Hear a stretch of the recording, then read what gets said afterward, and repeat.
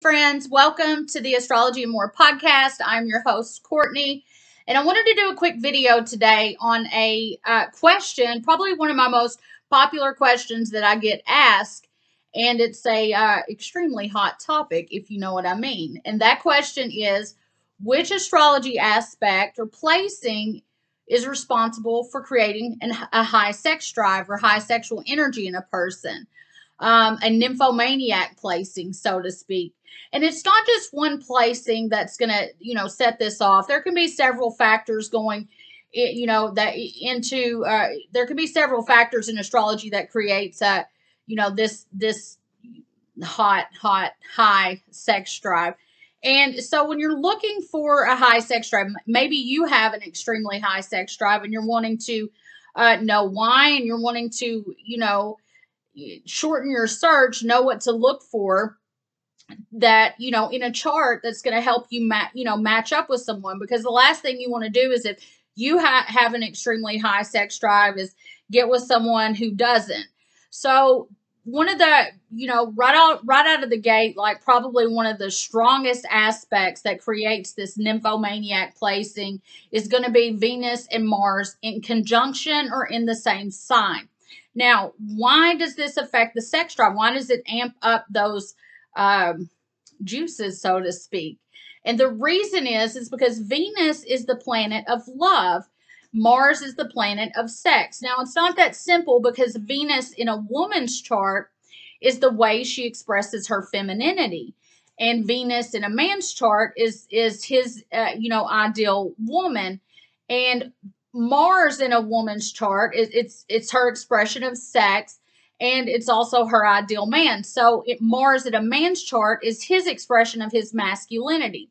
So when these two planets are in the same sign, it creates this insatiable appetite, this high sex drive, because basically what happens is, um, it, it, you know, that the love and the the sex, the the love expression and the sexual desire, sexual energy the wires are kind of blended. So a person oftentimes with this placing um, doesn't feel love unless they're in the act of sex itself.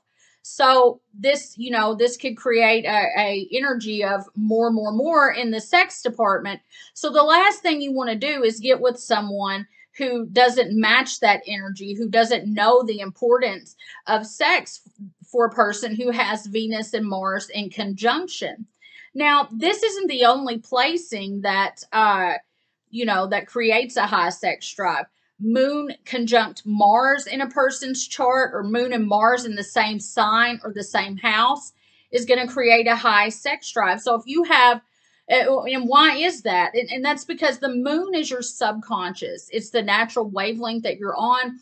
It's what drives the person. It's their emotional energy, their emotional nature their emotional expression. And of course, Mars is the planet of, of sex. And so when you have these planets in the same sign or the same house in a conjunction, um, there is a subconscious like drive always for you know an, an insatiable appetite for sex. So that that's another aspect. Um, Mars being in the eighth house is going to create an extremely uh, high need for sex. Now, if you are a person with these placings, I want you to do a little shadow work and a little, you know, uh, questioning of yourself. If you don't have an outlet for sex, like if you don't have a, you know, a consistent, you know, partner, you don't have this release, have you noticed that there's a lot of anger, a lot of frustration, a lot of, you know, just road rage, snapping out, wiling out, maybe you haven't connected the two that, you know, you need more of a sexual release than the average person. Now, another placing that is going to create a high, um, you know, sex drive, a high need for, you know, a, a stronger need for sexual release and sexual connection is going to be Venus or Mars in Scorpio. Um, and that's because Scorpio is the sign that rules sex itself. So these people need have a, a higher, you know, need and desire for sex and, you know, think about it all the time. Um, so if you have uh, as the, you know, as Scorpio itself, sun, moon, or ascendant. Moon in Scorpio is really driven, needing needing to connect sexually with an intimate partner, needing that release. So you're going to notice when you have these aspects and these placings in your chart, if you don't have this sexual release, you're going to be grumpy, you're going to be grouchy, you're going to be irritable, you're going to be road raging. Um, so another uh, placing is going to be Venus or Mars conjunct Pluto or in the same uh, house. Mars and Pluto, Venus and Pluto in the same house. This is a stronger need for uh, you know you need this this stimulation this intimacy this connection this release and you will find that if you uh you know having this release you're going to find if you start you know noticing your patterns of behavior you're going to find that you know you're you feel a lot more alive. You're not as grouchy. Your vibration isn't as low. Um, so I do want to encourage you, if you don't have a partner, take things matters in your own hand, if you know what I mean.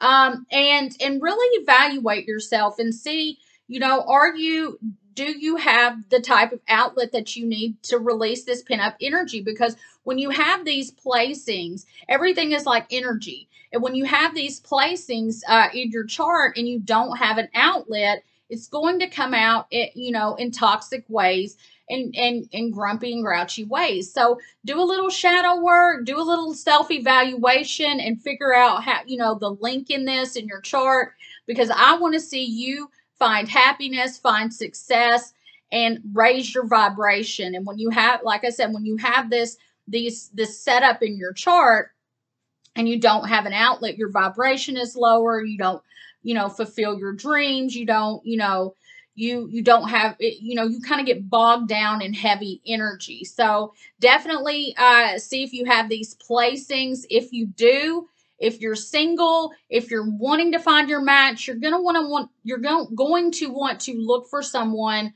um, that has some of these aspects and these higher you know sexual energy sexual drive placings in their chart also mars and aries Venus in Aries, the Aries energy itself, Aries on the eighth house cusp, also Scorpio on the eighth house cusp.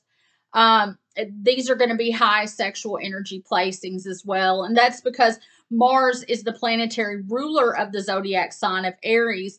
So, you know, Mars ruling sex, Aries is a very sexual sexually driven sign needs a big needs that release needs a lot of uh you know sexual uh, you know, connection and things like that to release that pin up energy that can happen. And at bare minimum, if you're a person that might be celibate, you might be, you know, taking a break from it all. You definitely want to have a physical outlet because, like I said, this is energy. You want to get that energy out of your system. Your thinking will be clearer. So you definitely want to work out every day and and realize this is this is you know releasing that pent up energy so that way you're happier and the people in your life in your you know your lives are happier your family your friends and you know you can move through life not as weighted down and not as grumpy and you don't pose a danger to uh you know people driving in your vicinity you know maybe they're zoned out um, in the slow in the fast lane, driving a little too slow.